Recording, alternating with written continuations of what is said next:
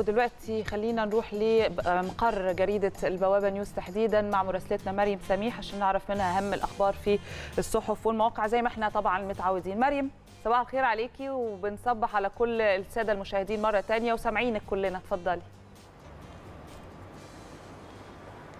بصبح عليك يا نهاوند بصبح عليك يا كريم وبصبح على كل مشاهدي قناة الأهلي في كل مكان. يوم جديد جولة صحفية جديدة من داخل مقر بوابة نيوز. طبعا معانا عدة عناوين. بارزة صادرة صباح اليوم الثلاثاء من داخل مقر بوابة نيوز.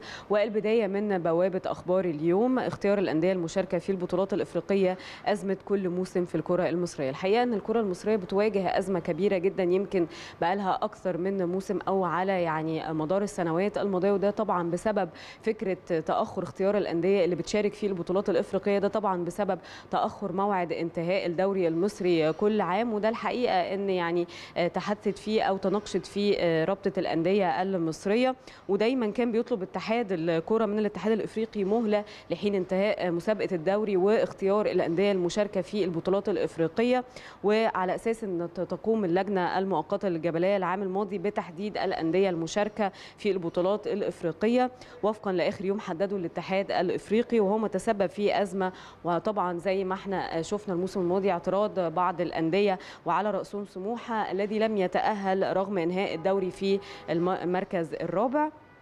وعقب تحديد رابطة الأندية المصرية المحترفة معايير اختيار الأندية بناء على اتفاق مسبق بين الرابطة والأندية. كما أكد أحمد دياب رئيس رابطة الأندية المصرية في تصريحات سابقة قبل أن يكشف موعد إرسال أسماء الأندية للكاف يوم 30 من يونيو الجاري. ومنذ أيام قليلة احتفل فريق فيوتشر بتأهله للكونفدرالية بناء على تصريحات رئيس رابطة الأندية. وذلك بعد أن احتل الصاعد حديثا الممتاز المركز الرابع بجدول المسابقه ويسبقه كل من الأهلي وبيراميدز. بيراميدز والزمالك. وخلال الساعات الأخيرة أعلن الاتحاد الإفريقي لكرة القدم كاف أن الموعد الأخير لاستلام أسماء الأندية المشاركة في البطولات الإفريقية هيكون يوم 31 يوليو المقبل. ويمكن يعني تقرير بوابة أخبار اليوم طرح سؤال الحقيقة في غاية الأهمية وهو هل تعتمد رابطة الأندية قرارها باختيار الأندية في 30 يونيو الجاري على الرغم من عدم انتهاء مسابقة الدوري الممتاز في الموعد المحدد أو ان هي هيتأخر موعد انتهائها. ام ستمنح الأندية مهلة جديدة حتى 31 يوليو لا وأن جدول الترتيب قد يتغير كثيرا خلال الشهر المقبل إلا أن هذا القرار سيصدم فريق فيوتشر خاصة وأن لا لم يصلوا أي خطاب رسمي سواء من الرابطة أو من الاتحاد المصري لكرة القدم. ويمكن كان أحمد دياب رئيس رابطة الأندية المصريه كان أعلن بشكل رسمي عن فكرة اختيار الأندية اللي هتشارك في البطولات الإفريقية وكان 30 يونيو الجاري. فيعني لسه مش عارفين إذا كان سيحصل تغيير أو سيحدث تغيير في هذا الموعد أم يعني هيكون باختيار الأندية المشاركة في البطولة الإفريقية في الموعد المحدد؟ ومن البوابة سبورت وزير الرياضة يستقبل أبطال المشروع القومي للموهبة والبطل الأولمبي بمطار القاهرة الدولي. استقبل طبعا دكتور أشرف صبحي وزير الشباب والرياضة يمكن منذ ساعات قليلة جدا أبطال المشروع القومي للموهبة والبطل الأولمبي. للمشاركين في بطولة العالم لرفع الأثقال للناشئين تحت 17 عام واللي طبعا استضافتها المكسيك في الفترة من 10 وحتى 19 يونيو الجاري.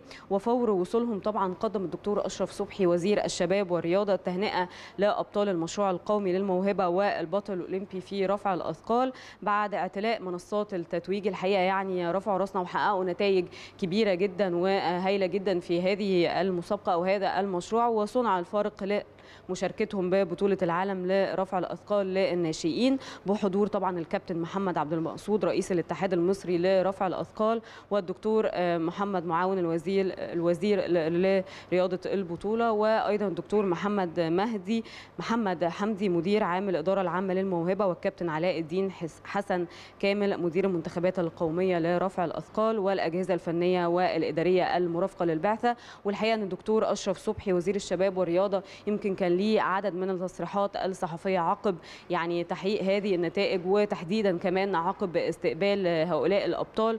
ويعني يمكن شايف إن هيكون في أجيال قادمة ورائعة في مجال رفع الأثقال والحقيقة إن هو يعني أشاد بيهم إشادة كبيرة جدا. وكمان يمكن اتكلم عن فكرة دور وزارة الشباب والرياضة في رعاية وأعداد هؤلاء الأبطال خلال المرحلة المقبلة. ومن موقع اليوم السابع أغلى عشر صفقات في تاريخ كرة القدم.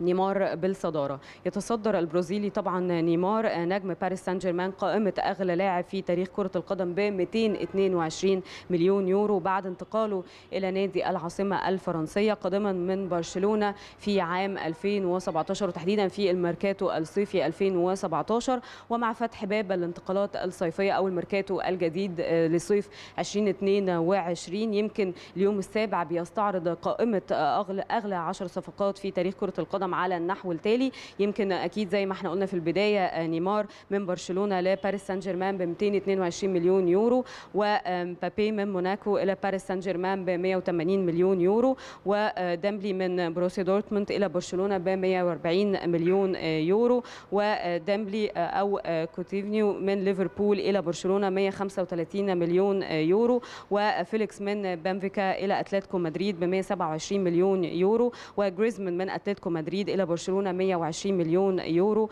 وجريليش من أستون فيلا إلى مانشستر سيتي 117 مليون يورو. أما كريستيانو رونالدو من ريال مدريد إلى يوفنتوس ب 117 مليون يورو. ولوكاكو من إنتر ميلان من إنتر ميلان لتشيلسي 115 مليون يورو. وأخيرا هازارد من تشيلسي لريال مدريد 115 مليون يورو أيضا. وأخيرا من الرياضية برشلونة تسجن ايتو 22 شهر. أصدرت محكمة في مدينة برشلونة أمس حكما بالسجن الكاميروني صامويل إيتو رئيس الاتحاد الكاميروني لكرة القدم ونجم برشلونة السابق. حكم يعني يمكن بيبلغ 22 شهر مع وقف التنفيذ بعد ثبوت تورطه بالتهرب من 3.86 مليون يورو لمصلحة الضرائب خلال فترة لعبه في إسبانيا. ويمكن صحيفة سبورت يعني اتكلمت أو تحدثت عن هذا التقرير أو هذه الواقعة. الواقعه لأن مهاجم برشلونة أو صامويل إيتو الحقيقة إنه يعني اعترف بارتكابه المخالفة ولكن يمكن أصدر الاتهام أو أسند الاتهام لوكيل أعماله السابق ماسيلاس. طبعا وكانت التهمة الموجهة لإيتو مرتبطة بعدم الإفصاح عن حقوق يعني صوره لشركة بوما وبرشلونة وإقراراته الضريبية الشخصية ما بين 2006 حتى 2009 وذكر إيتو طبعا في تصريح إنه سيدفع المبلغ المطلوب لكنه مع ذلك أصر على تحميل المسؤوليه كاملة لوكيل أعماله السابق. ده طبعا يعني اللي كان بيعده بمنزلة والده.